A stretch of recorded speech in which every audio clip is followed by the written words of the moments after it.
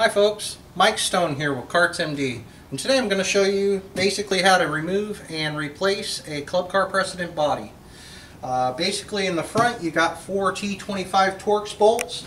Now we've already removed the front body and you can see there's little tabs here.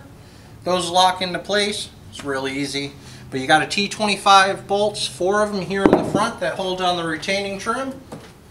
Basically take those out, rip off the old, put on the new, tighten down your T25s again. No big deal. Then we'll move to the back. We've already started removing the back. There's four T27 Torx bolts, and I go ahead and pop them in some uh, cardboard here and give them a spray with uh, black spray paint.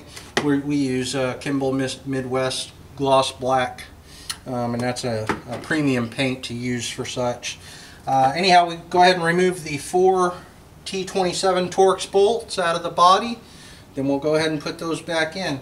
We'll also remove two T25 Torx nuts from these captured nuts here. We'll remove the T25 bolt to take off the forward and reverse assembly. Um, a good way to remember putting those wires back on is blue, orange, brown, or blorb I like to say. Uh, and that is blue, orange, brown from the driver's side to the right, to the passenger side.